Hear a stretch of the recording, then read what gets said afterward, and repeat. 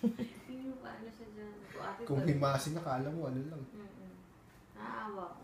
Naawa ko. Yan, nagkasakit. Ayaw- Baka naman, ito lang ba trabaho niya? May iba pa siya sideline. Meron niya sa office namin, naglilinis siya dyan. Kasi dito, every linis niya, 500. Tapos sa office, ang one month niya, 4,000 naman. Pero twice, twice a week lang naman. Hmm? Twice, Sarap ah. Twice a week, 4,000.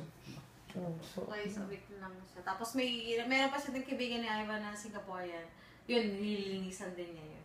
Parang ang dami nga niya trabaho. Ninininisan niya yung... Siguro sa biyahe kakilala yun ni na rin yun eh, sa Alikabok. eh, tsaka may mga sa- taong mahina talagang baga. Oo, yun, naawa ko kay ate talaga. Kasi yung mga pamangkin ko, wala namang ano yun eh. Baby pa lang.